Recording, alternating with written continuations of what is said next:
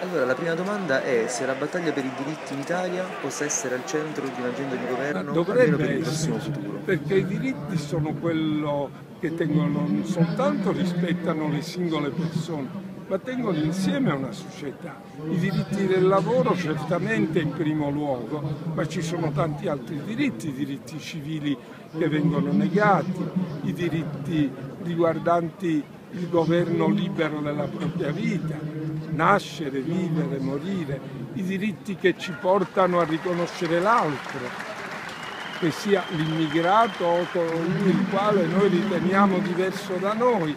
E quindi c'è un programma che è indispensabile perché questa è una società all'interno della quale molti nessi si sono spezzati.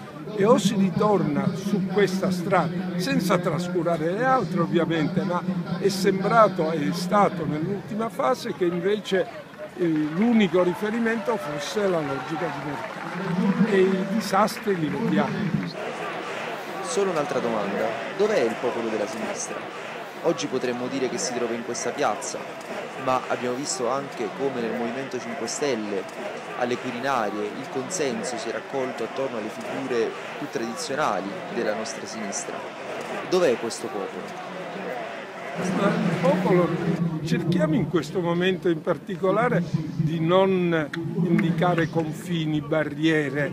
Eh, c'è chi vuole, vuole dire, salvaguardare una vecchia identità della sinistra e quindi si chiude eh, in qualche piccolo fortilizio che serve a poco o non serve a nulla perché nelle ultime due elezioni due liste di sinistra nel 2008 la lista della sinistra arcobaleno, questa volta la lista Ingroia non hanno superato la soglia. Quindi questa è una strada assolutamente perdente. Se continuiamo a, a non renderci conto che la logica della sinistra è quella di dover ritrovare il suo popolo, che cosa diversa da un confronto tra stati maggiori, beh, non andiamo molto lontano. Grazie